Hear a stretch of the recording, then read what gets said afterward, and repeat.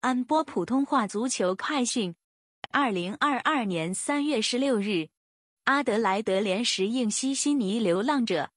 周三下午，澳职联火热进行，阿德莱德联主场迎战西悉尼流浪者。阿德莱德联已经豪取三连胜，球队状态相当不俗。此番面对近况较为飘忽的西悉尼流浪者，阿德莱德联有力全取三分。阿德莱德联目前力求进入第一集团，球队正在为联赛开局的失分收复失地。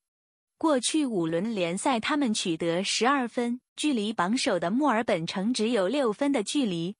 而这段抢分时期，球队甚至击败过墨尔本城，含金量颇为之高。另外，M 杜尼和指数杨史近期在进攻端的贡献，大家有目共睹，尤其是 M 杜尼。作为后备匪徒的他，近五轮贡献三个入球，成为球队近期抢分的最大法宝。而阿德莱德联的攻击力也是有所保证的，球队已经连续十二轮联赛有进账。金帐坐拥主场之力，阿德莱德联更值得看高一线。阵容方面，K 耶基等人因伤倦勤。西悉尼流浪者今季的整体表现令人不敢恭维，十五轮联赛只得四胜三和八负的糟糕战绩，目前排名积分榜倒数之列。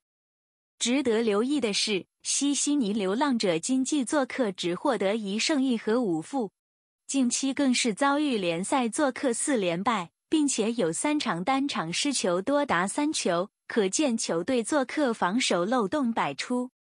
另外，多达六场没有入球的攻击力也是相当薄弱，当中上半场没有入球数多达十一场，并列澳职联最多。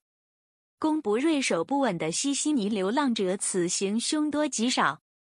阵容方面，后卫拉斯威廉是因伤无缘披甲。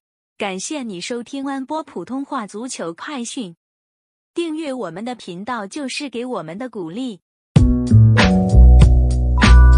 Thank you.